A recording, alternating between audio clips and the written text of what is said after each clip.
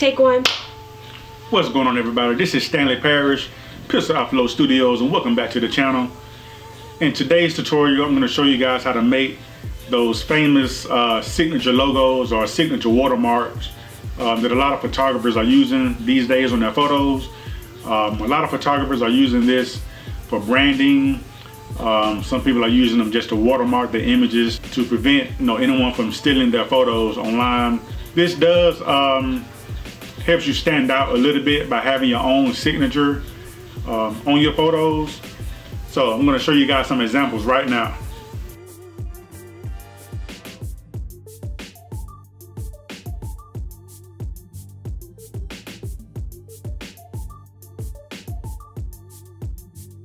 Okay, so those are just a few examples. Um, in order to pull this off, you want to make sure you have some plain white paper, and I recommend using a Sharpie. You can use a, um, an ink pen, but you'll get better results if you use a Sharpie. Okay, so right now I'm going to go ahead and just draw my signature.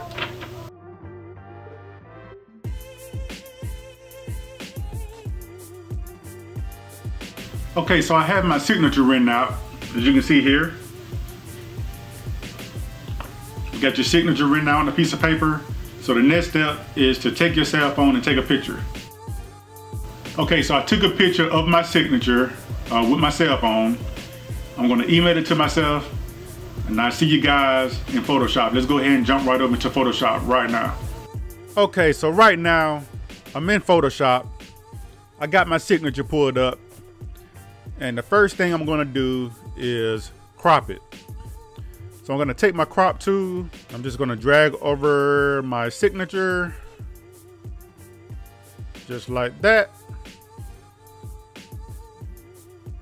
And we're gonna hit the check mark to confirm. Okay, then I'm, then I'm gonna double click on my layer. I'm gonna hit okay. The next thing that I wanna do, I wanna make my background pure white. So to do that, I'm gonna go to my levels. I'm gonna go to image, adjustments, levels. And in your levels panel, you're gonna see three eyedropper icons over to the right, right here.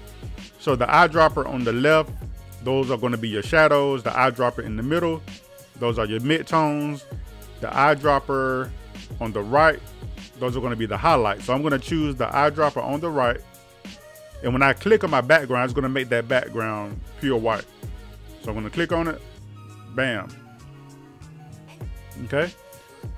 And I'm gonna move my, if you look over here where it says input levels, uh, this little switch on the left side, those are the shadows. The one in the middle, those are the midtones. The one on the right, those are the highlights. So I'm gonna drag my my shadow in closer to the middle just to bring those blacks up just a little bit. Make it a little little bit darker. Okay. And I'm gonna hit okay. So I got that where I want it. So the next thing I'm gonna do, I wanna actually remove the background. So to do that, I'm gonna go to select color range. I'm gonna take my eyedropper tool right here and I'm gonna select the white. And here you can play with the fuzziness. You see, if, if you put the fuzziness at zero, you see that that's not what you want. You see all those black dots.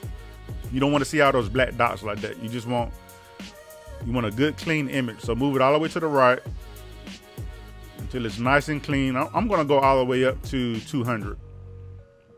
Okay, so I'm gonna hit okay. And I'm gonna zoom in a little bit. So I can see here it's selected everything that's white. All, all of my white is selected. Okay. So what I'm gonna do now is I'm gonna hit delete. Uh, I'm gonna hit delete a few times just to make sure it gets rid of all that white. So I'm gonna hit delete, let's say maybe about four or five times. One, two, three, four, five. Okay. And I actually don't want my signature to be black. I want it to be white. So I'm gonna hit control I to invert the colors, or you can go to image, adjustments, and invert. As you can see here, the shortcut for invert is control I. So now it's white. Okay, so the next thing you want to do is save this in the format um, that you can use later. And that format is going to be PNG. You want to save it as a PNG file. Don't save it as a JPEG because the PNG file is going to allow you to keep that transparent background. Okay, so you want to go to File, Save As. I'm going to name it um, Stanley Signature Watermark. Save it as a PNG file. Save. Just hit OK. Okay, now I'm going to close it. Okay, so now this is a photo I took, um, I don't know, maybe last week sometime.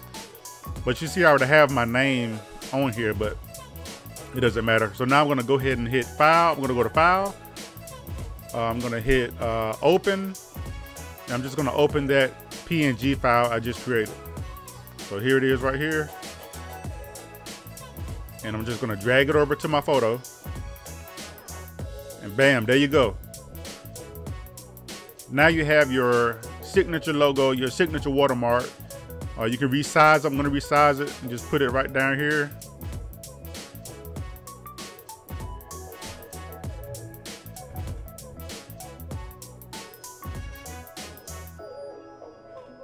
Okay, and that's it. I hope you all were able to get something out of this tutorial.